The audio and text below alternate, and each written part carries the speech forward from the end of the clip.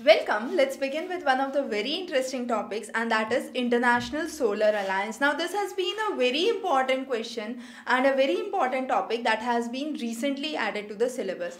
Now when we talk about International Solar Alliance, the basic idea is this is a kind of agreement that has been signed by nearly 121 prospective nations which are part of this tropical region. So we have this uh, line going from Tropic of Cancer running till Tropic of Capricorn and all the countries which are part of this region would be the part of International Solar Alliance and that's one of the major aspects that have been covered. So far we believe 62 nations have already ratified, uh, basically have signed the agreement and 32 nations have ratified it. Now the plan is to generate 1000 gigabytes by 20, 2030. So the, the aim of generation of solar energy is 1000 gigawatts.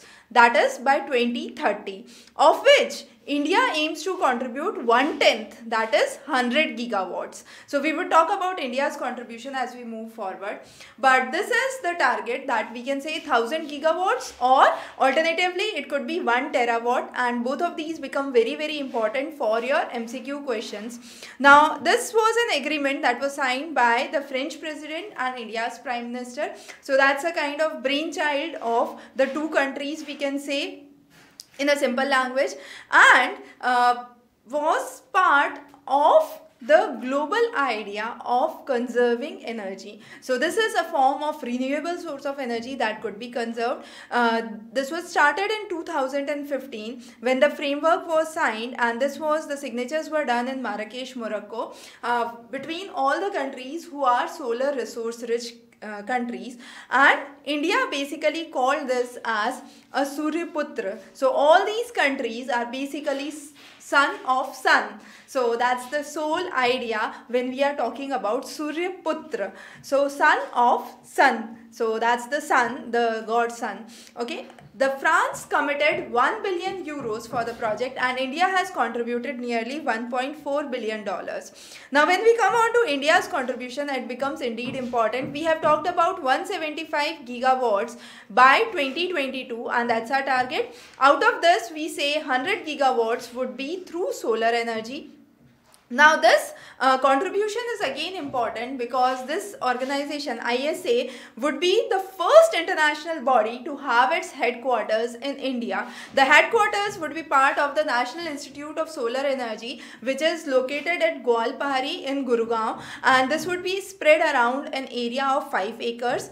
Uh, again India has worked around the LED bulbs. So we are trying to distribute nearly 28 crore LED bulbs and this is an idea to save nearly dollar $2 billion or 4 gigawatts of energy. So that's again our uh, move towards conserving the energy and checking out the energy crisis as it appears to be. So that's that's some of the important aspects. Besides this, India has been working forward with many of the schemes. One of the important schemes is the Kusum scheme. The Kusum scheme is the Krishi Urja uh, Suraksha Evam Utthan Mahaabhiyan. Now this talks about providing or harnessing solar power by the rural people that could be used in the farms and the additional could be sold to the discoms. The another important aspect is the Suryamitra scheme and this talks about uh, training people as solar technicians who could move into the farm and provide help. Now, this International Solar Alliance has been established with certain objectives.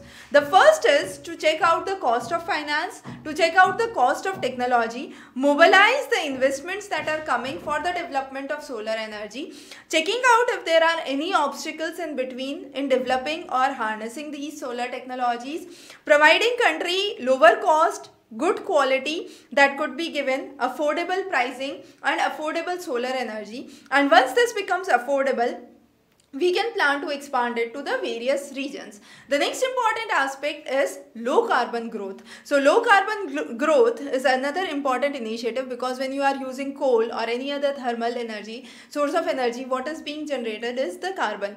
So carbon footprints to reduce those, we have the carbon low carbon growth plan that's there. And again, this would aim to have a reduction in the emission by nearly 35 to uh, 30, uh, 35 percent around by 2030 so that's again a very good initiative that is seen. If we look onto the global countries we believe that the most sunniest countries are seen in the parts of africa. Basically east uh, till east uh, from east to west you have niger egypt. So those are the somalia those are the major areas where you see most of the solar energy that can be captured. Now when we talk about why uh, or what is the basis for International Solar Alliance, we can say 300 days in an year which are sunny would be a good criteria to understand an area which would be feasible or which could be part of International Solar Alliance.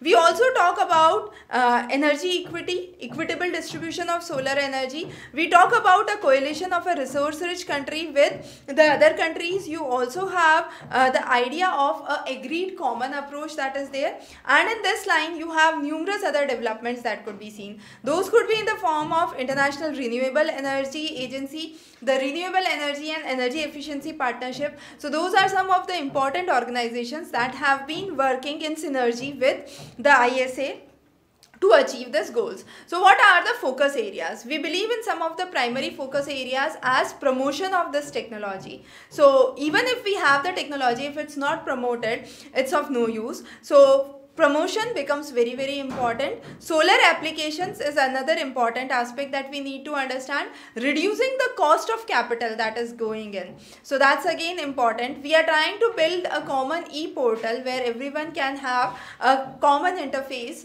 a common capacity building platform could be there. Assist the countries who are still in the phase of drafting solar policies. Uh, establish common standards or specifications that could be there. Encourage more collaboration collaboration from other people, design training programs, workshops, awareness and work with other members to have universal access to solar lighting aspects. The next aspect is Global Solar Atlas. Another initiative which is considered as a free online tool that displays the average number of solar power potential at any location in the world. Now once this is done, each of the company who is trying to go or who is trying to invest or find out a site for solar energy need not to go around. They can have the solar atlas, the global solar atlas and they can have their own places of interest in which they want to expand or they want to invest. So this would be a kind of uniform place or an online tool to help everyone explore the areas which are solar energy rich.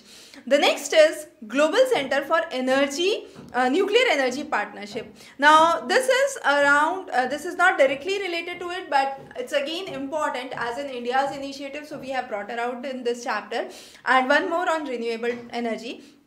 So this is the world's first nuclear energy partnership program that has been established in Bahadurgarh, Jhajjar in Haryana. Uh, this basically talks about the expertise in the field of nuclear fuel cycle, uh, security issues, uh, resistant reactors that could be built and there are six research institutes given by Department of Atomic Energy and this is one of these. Under this center you would have five different schools. One would be catering to advanced nuclear energy, one to radio radiological safety nuclear security, then we have the nuclear material, uh, the application of radioisotopes. So those are some of the important schools which would be part of this center established in Haryana. And the next is International Renewable Energy Alliance, again important because in solar energy is part of renewable energy. This was formed uh, in 2004 and it's a kind of non-profit international organization.